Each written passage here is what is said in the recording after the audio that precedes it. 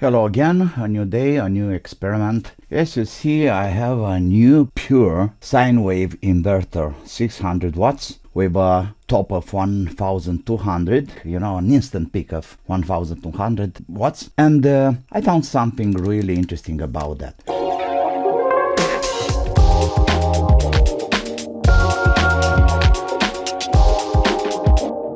You know, I really love Solartronics. This uh, inverters and uh, generally all the products from Solartronics, and I'm not doing any reclama by the way. They are really good, reliable, and uh, strong, and so on. I have a European uh, output here, 240 volts, and of course the battery and a fan behind, and it's not a big deal.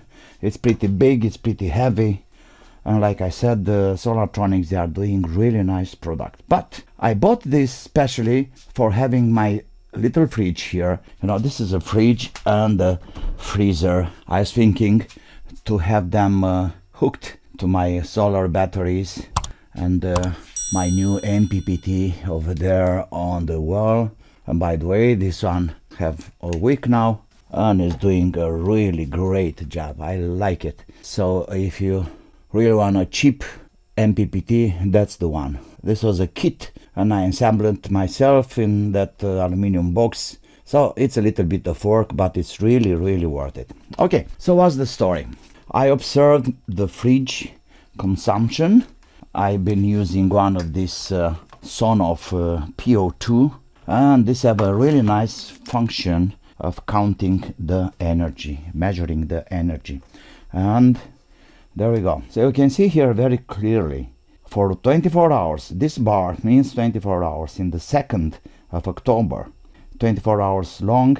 The fridge, this little one, took like 100 and, okay, let's say 200 watts. So this was the, the power consumption for 24 hours, 200 watts. But here is something really funny because I know my batteries and I know my voltages and I know my consumption.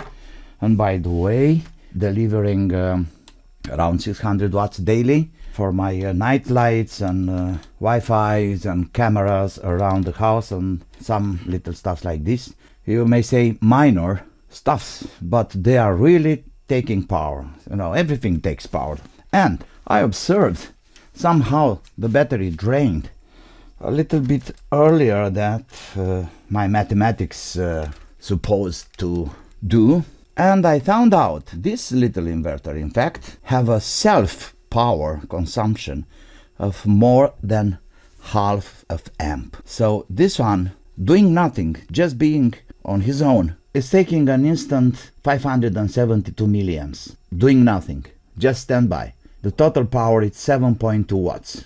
You can see in 2 hours and 7 minutes it took like 16 watts from the from the batteries. If we uh, count that okay let's say 2 hours 16 watts that means like 8 watts per hour. Let's say 7 7 watts per hour. Okay if we count that and remember doing nothing 7 watts per hour. If we do this 7 times 24 we have a consumption of 168 170 watts per day. And that's huge. I mean the fridge itself took me 200 watts and uh, the inverter 170 it's almost double you know. It's like I don't know it's like uh, running two fridges in the same time. And uh, this is really annoying somehow let's do an experiment here. So here we have the watt meter. I'm hooking on off to the inverter.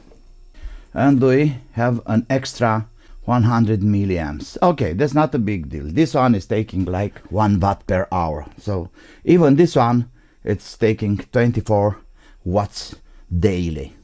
And this is interesting. 24 and 170 that means almost 200 watts daily for nothing.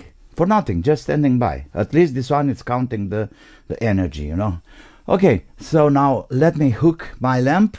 This is a 300 watts lamp or 200 watts I can't remember exactly. Of course That's why, because it's not connected to 12 volts as it should be to the battery with some big cables.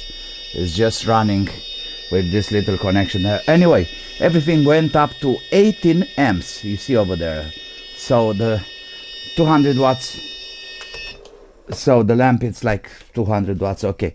The noise was because now it's just connected to some thin wires to 12 volts. Normally it's connected to these uh, nuts here to some really really strong cables directly to the battery and if you really want to have power from this you really need strong cables. Let me show you. Okay so like i said uh, if you really want to push the power this inverter should be connected straight to the batteries. And here i have the wires for the sake of experiment. Now i just hook it over there. I don't know. Maybe this one have a problem or that's the way it should be. I really don't know. I had so many models before. I never was curious to check about the standby current or power consumption if you have anything like this, please let me know. Write your comments down there.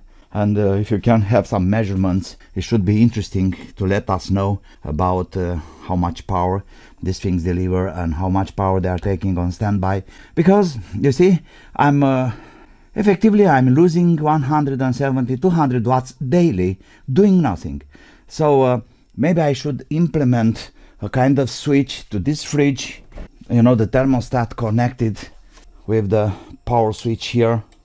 And when the thermostat supposed to start the motor it's switching on the power inverter too. So when the thermostat is uh, on connecting the the motor the fridge uh, compressor uh, in the same time it's pushing on here through a relay or something to have this on too. By now i'm not using this anymore because it's just sucking my batteries for nothing thank you for now. I uh, hope it's uh, useful. Please let me know your comments. And uh, if it's uh, anything to do about just let me know. Please like subscribe and don't forget to have fun. Bye bye